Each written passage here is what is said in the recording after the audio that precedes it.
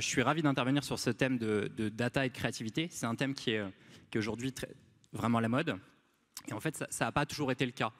Lorsqu'on parlait de créa il y, a, quelques années, on était assez penché pour avoir à l'esprit le concept de la Big ID, qui pouvait être un vrai succès lorsque cette Big ID rencontrait son, consommateur, mais qui pouvait aussi être un, échec assez retentissant lorsque ce n'était pas le cas. Euh, d'un autre côté, lorsqu'on parlait de data, euh, bah, en fait, on avait, euh, en tant que directeur marketing, régulièrement en tête que la data était associée à la performance, avec plutôt une logique, on va dire, bad funnel et une qualité euh, de, ce qu'on proposait aux consommateurs relativement faible. Alors, nous, effectivement, on croit beaucoup à l'association entre euh, la data euh, d'un côté et la créa de l'autre. Et en fait, ce qui est intéressant dans la campagne qu'on va vous montrer, c'est qu'on a fait travailler ensemble des équipes à la fois de data scientists, donc plutôt notre cerveau gauche, et des équipes de créa, qui étaient plutôt notre cerveau droit. Et on va voir dans l'exemple qu'on va vous présenter sur Orange je suis très heureux de présenter avec Guillaume, euh, comment est-ce qu'on a fait contribuer et travailler ensemble ces différentes équipes.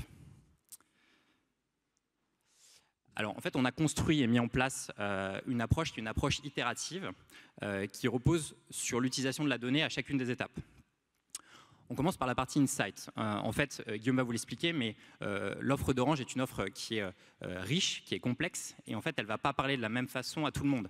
Il y a des gens qui vont plutôt être intéressés par le réseau, d'autres qui vont plutôt être intéressés par le service. Et, l'objectif de départ, c'est d'utiliser la donnée pour comprendre vraiment profondément ce que viennent chercher les consommateurs lorsqu'ils s'adressent à une marque comme, comme Orange. Ensuite, la deuxième étape, c'est le contenu. Une fois qu'on a définir avec précision ces différents insights, bah, il faut produire des contenus qui soient des contenus riches, mais qui parlent avec pertinence aux différents, consommateurs. Et c'est là que du coup, euh, l'étape d'utilisation de, la data intervient par l'intermédiaire de ce qu'on appelle un brief créa, qui doit vraiment être très précis et réutiliser la data qu'on a, a définie. Une fois qu'on a ces contenus, et eh ben en fait, on va raconter une histoire. Euh, raconter une histoire, en fait, on va assembler ces différents contenus un peu à la manière dont on assemblerait différentes briques de Lego pour construire euh, quelque part un objet qui pourrait être différent en fonction des différents individus. On va assembler les différentes briques de contenu pour construire des histoires qui vont complètement être personnalisées et euh, différentes en fonction des différents individus. La dernière étape, c'est l'étape de mesure. Et en fait, cette étape, ce n'est pas une étape statique. C'est-à-dire que les, mesures qu'on va, qu'on va faire, on va pouvoir les réutiliser lors des campagnes successives et, du coup utiliser cette, euh, cette, mesure plutôt comme un insight, plutôt comme une mesure, on va dire, brute de la performance. Et du coup, cette étape a bien à voir comme une étape euh, qui est plutôt un cercle qu'une vision linéaire.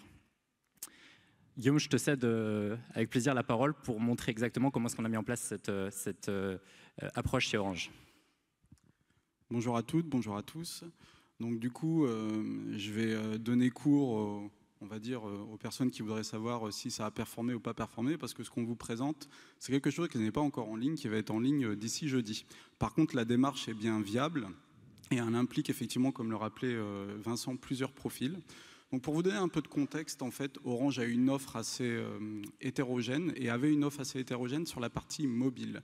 Ce que vous voyez sur la partie de gauche, c'est effectivement euh, l'ensemble de nos gammes et sous-gammes, à savoir M6 Mobile, Origami, Open, j'en passe des meilleurs. Et c'était euh, assez imbuvable d'un point de vue consommateur. Ce que vous voyez sur la droite, c'est ce qu'on a mis en place depuis juillet 2016, à savoir un redesign de notre gamme mobile qui permet euh, d'être mieux disante en termes de compréhension euh, d'un point de vue client et qui euh, est lié à ce que le client nous remonte sur différents attributs d'offres. Ce qu'on a essayé de faire à, travers cette approche que Vincent vous a, vous a explicité, c'est de se dire, et si on n'était pas drivé par la donnée, mais qu'on était plutôt éclairé par la donnée et qu'on prenait les bonnes décisions donc la première chose qu'on a fait, c'est la recherche d'insight. Généralement, la recherche d'insight se fait soit via des études quali, parfois validé par du quanti, et puis entre le brief marketing, la manière dont la com restitue ce brief à des agences créa, et puis enfin vous faites un plan média, bon, de l'eau se passe sous les ponts et vous pouvez, euh, on va dire, euh, perdre la véracité de ce que, de ce que pensent vraiment nos, nos clients. On a essayé d'avoir une approche du coup assez rupturiste et de partir de cette donnée. Donc d'abord sur la donnée euh, first party, donc la donnée qui nous appartient, on a utilisé notre audience, enfin notre DMP, euh, qui est relaouté sur l'ensemble de nos, de nos properties.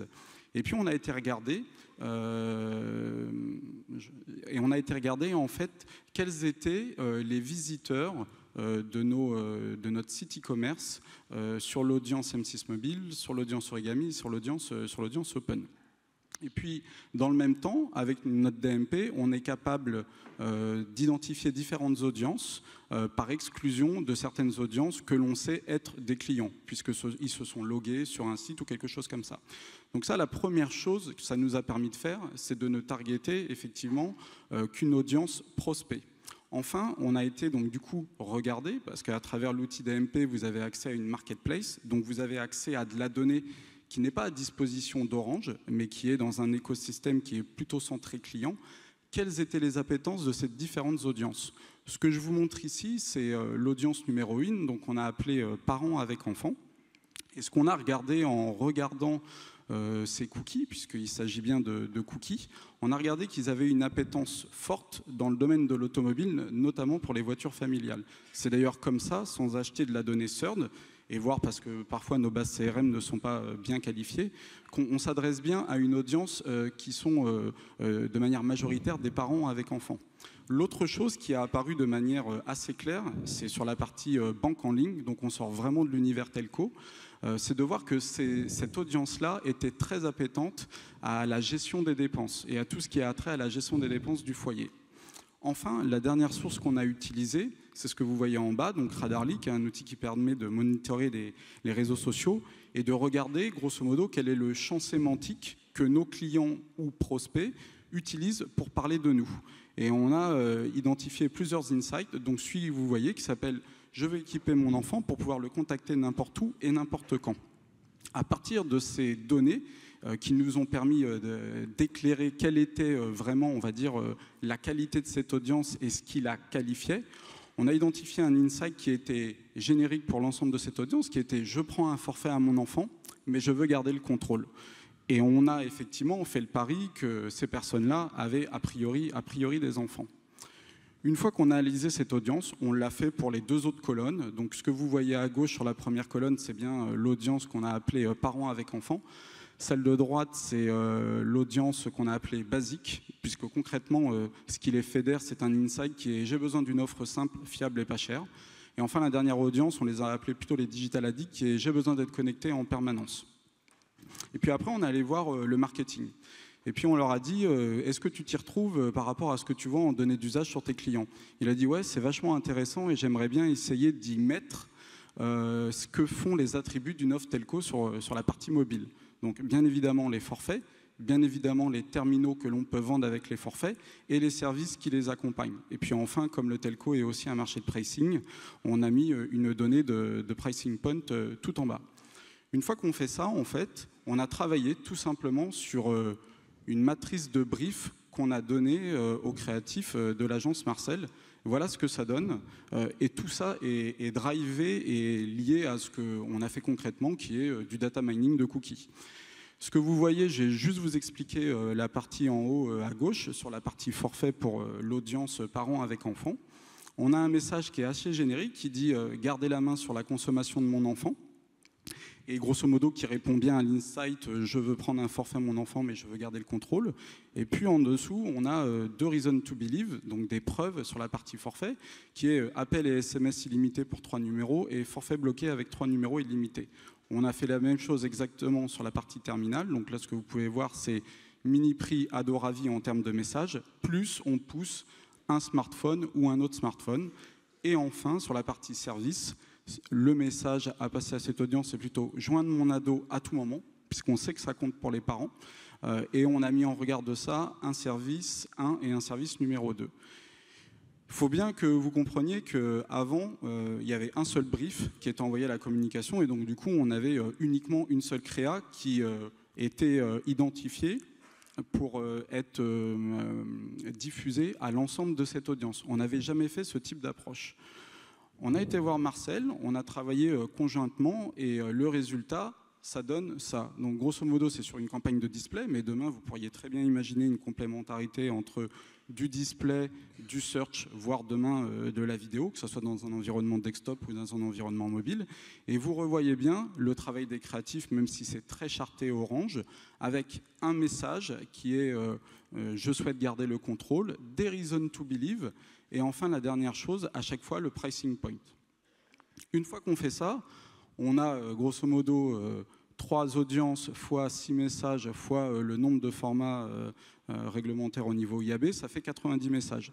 Comment on, met ça en place et comment on l'harmonise? Tout simplement en permettant de raconter une histoire. Et on ne préjuge pas de savoir quelle est la meilleure histoire que l'on va raconter à nos consommateurs. C'est d'ailleurs, enfin j'espère en tout cas que c'est eux qui vont nous raconter la manière dont on devrait leur parler demain. Donc cet outil est un outil de DCO.